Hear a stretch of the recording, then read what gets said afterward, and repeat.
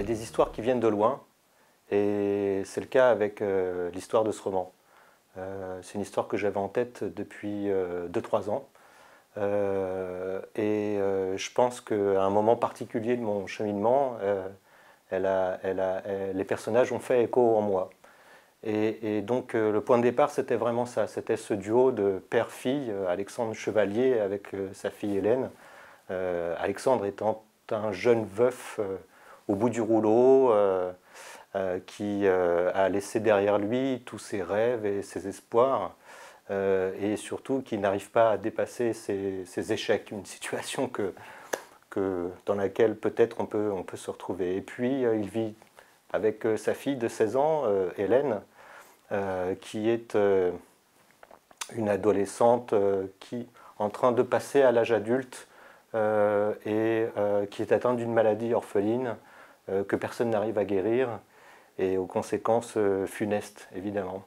Donc euh, on a ce, père et cette fille qui habitent une banlieue qui pourrait être n'importe quelle banlieue. Ce n'est pas un livre qui se situe spécialement à Paris, non. L'idée c'était justement de prendre deux personnages dans lesquels tout le monde puisse se reconnaître et, et dans un quotidien dans lequel aussi on puisse se reconnaître et faire basculer évidemment ce quotidien dans euh, l'extraordinaire, puisque euh, alors que Alexandre est vraiment euh, au comble du désespoir, qu'il n'y a plus de, solution pour, pour, Hélène, un miracle surgit dans leur, dans leur vie et on vient leur proposer de soigner Hélène. Et donc, père et fille quittent leur petit univers quotidien pour euh, l'inconnu. Euh, avec au bout cette question qui, euh, tous les deux, évidemment, ils n'osent même pas se, dire que, ce serait possible, mais la question c'est est-ce qu'on va pouvoir guérir ou non Hélène?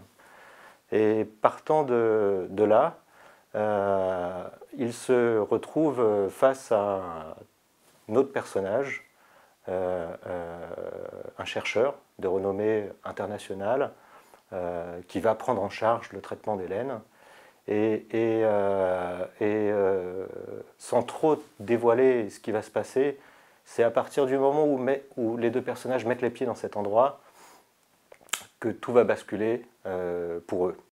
On peut avoir l'idée d'une histoire à un moment donné et en fait ne pas se sentir en adéquation avec elle pour la raconter. Et c'est ce qui s'est passé avec ceux qui savent. Euh, qui est une idée que j'ai eue il y a quelques années. Euh, et en fait, c'est euh, à peu près il y a un an que je suis vraiment rentré en résonance avec mes personnages, avec les personnages, avec le concept, avec l'idée qui était la mienne au tout début. Et, et c'est pour ça que, à ce moment-là, je me suis lancé dans l'écriture de ce roman. Et un roman parce que euh, alors évidemment, une histoire peut être racontée sous différentes formes, euh, oralement, comme un conte par exemple, ou euh, au, cinéma, sous la forme d'un long métrage de 90 minutes, ou alors en 6 x 52 à la télé. Mais ceux qui savent est une histoire que j'avais vraiment envie de raconter sous forme de roman. et en plus de ça, de faire réellement un objet littéraire. Euh, effectivement, on n'écrit pas du tout de la même façon euh, pour euh, l'audiovisuel et, un roman. ça n'a vraiment rien à voir. Donc le, challenge pour moi, je dirais, c'était vraiment de, créer cet objet littéraire et de raconter dans un roman, raconter à travers l'écrit ce qu'on ne peut pas raconter à travers l'image, c'est-à-dire l'intimité, les émotions, les conflits intérieurs et puis le cheminement surtout intérieur.